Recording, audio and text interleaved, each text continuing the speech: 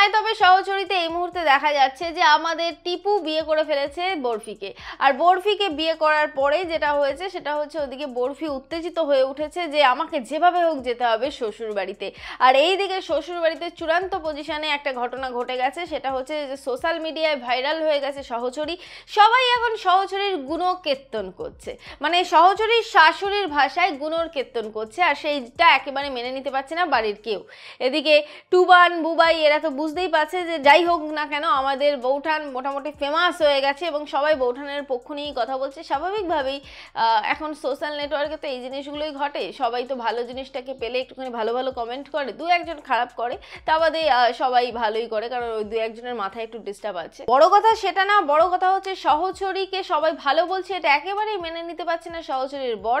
তার বক্তব্য যে একটা অশিক্ষিত গণ্ডমূর্খ মহিলাকে নিয়ে এত কিসের লাফালাফি, আমি তো এটাই বুঝতে পারছি না। বাড়িতে আসলে ঘাত ধাক্কা দিয়ে বার করে দেবো। শাশুড়ি অবধি বলছে মানে সহচরী শাশুড়ি বলছে হ্যাঁ বাবা, তুই ও এলে ঘাট ধাক্কা দিয়ে বার করে দিস। মানে মেয়েরা বাজারের পণ্য বাজারের পণ্য মেয়েদেরকে যখন খুশি সম্মান দিয়ে নিয়ে আসা যায়, আবার যখন খুশি অসম্মান করে বাড়ির থেকে ঘাট ধাক্কা দিয়ে বারও করে দেওয়া যায়। এরকম ধরনের পরিবার যেন প্রত্যেকটা পাড়ায় একটা করে দেখা যায়, আর প্রত্যেকটা পাড়ায় যেন একটা করে বরফির মতো মেয়ে থাকে, তাহলে এই পরিবারগুলো যে কীভাবে জব্দ হবে সেটাই কিন্তু দেখার। কারণ এই ধরনের পরিবারগুলোকে জব্দ করাটা অত্যন্ত দরকার, আর সেই জন্যই মেয়েদের প্রতিবাদ যে জিনিসটা সেটা শেখা আগে দরকার। এবং তারই সাথে সাথে নিজের পায়ে দাঁড়ানোটাও অত্যন্ত জরুরি। যে শিক্ষাটাই দিচ্ছে কিন্তু সিরিয়াল সহচরী। আই মিন, আয় তবে সহচরী। এবং এখন যে টপিকটা চলছে সেটা হচ্ছে যে সহচরী তো বাড়িতে ফিরবেই। সহচরী বাড়িতে ফিরবে কিন্তু ফেরার আগে টুবানের সাথে তার দেখা হয়েছে এবং টুবান তাকে বলছে যে তুই আর যাই ভাবিস না কেন, আমি হয়তো তোর উপরে একটুখানি অভিমান করেছিলাম যে একটা বাচ্চা মেয়ে জেনে গেল। আমি জানতে পারলাম না তুই কলেজে পড়িস, তবে আমাদের ভাই বোনের সম্পর্কটা নষ্ট হবে না। এমনটাই কথা দিচ্ছি। তো সহচরী তারপরে নিজের বাড়িতে ঢোকে।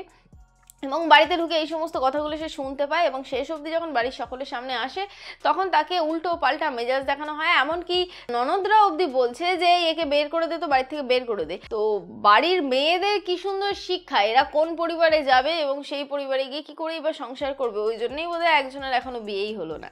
তো যাই হোক, এখন সহচরীকে বাঁচাতে আমাদের বরফি তো এসে গেছে। কিন্তু বরফি যে শুধু এসেছে তা নয়, বরফি এসেছে টিপু তো একেবারে মাকে স্যালুট ফেলুট করে, বরফিকে স্যালুট ফেলুট করে একাকার কাণ্ড ঘটিয়েছে। এরই পরে আমাদের সহচরীর গায়ে হাত তুলতে যাবে আমাদের সহচরীর স্বামী। কারণ সহচরী এখন বরণডালা সাজিয়ে নিয়ে চলে এসেছে বৌমাকে বরণ করে ঘরে তুলতে হবে। সেই বরণডালা হাত দিয়ে বাড়ি মেরে আকাশে উড়িয়ে দিয়েছে আমাদের সমরেশ বাবু আর সেটা দেখে আমাদের ধিঙ্গি আর শান্ত থাকতে পারেনি। যদিও ধিঙ্গির কাছে এই সমস্ত কিছু একেবারে ম্যাটার করে না মানে কোনো কিছুই ওর কাছে ম্যাটার করে না, শুধুমাত্র সই ছাড়া।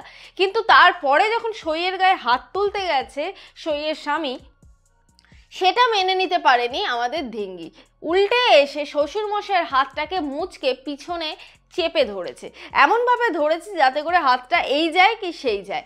শ্বশুরমশাইয়ের সাথে মার কাটারি অ্যাকশন করল আমাদের বরফি। আগামী দিনে ঠিক কি হবে, কীভাবে জাদু দেখাবে আমাদের ধিঙ্গি? কারণ সে বলেই দিয়েছে, বাড়ির সবাইকে নাকি টাকলা বানিয়ে দেবে। তো সত্যি সত্যি, এদের মাথায় তো কোনো ঘিলু নেই। আর এদের এই সৌন্দর্যের জন্য চুলগুলো রেখে আর কি কাজ?